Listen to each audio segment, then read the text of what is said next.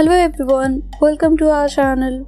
On July 15, Huawei launched HMS Core 6.0 on the official website of Huawei Developers Alliance. As promised, the company added a number of new open capabilities to application developers and upgrade existing features and services. It also opens a number of services including membership, video clips, audio clips, etc. At present, the HMS Core 6.0 APK built into the user's device has been fully upgraded. Developers can log into the official website to use various services. Huawei Mobile Service is a set of Huawei software, hardware, and cloud open capabilities for Huawei's partners and app developers to create something unique.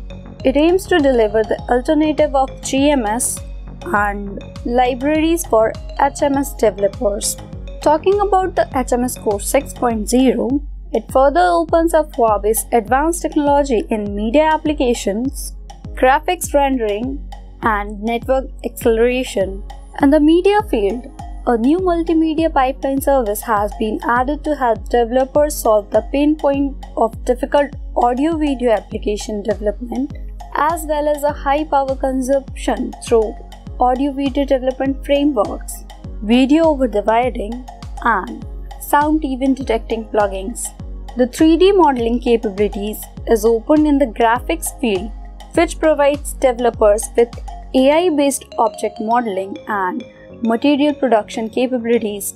Users only need ordinary RGB cameras and 3D model can be efficiently generated through mobile phones. Commercial and animation product app instantly get interesting interaction. Currently, this capability supports the entire Android platform. In addition, among the existing graphics computing services or CGKit, the industry has realized the dynamic light and shadow fog effect or volume fog based on the volume rendering technology for the first time on the mobile devices and helping mobile games improve the realism and expressiveness of indoor scenes. This feature has also been open to all Android devices that supports Vulkan. At last, in the field of communication, where Huawei has an advantage, NetworkKit has upgraded the AI network environment prediction, which can optimize network parameters based on business network access rules and differentiate network requirements, reducing the network latency of application by more than 20%.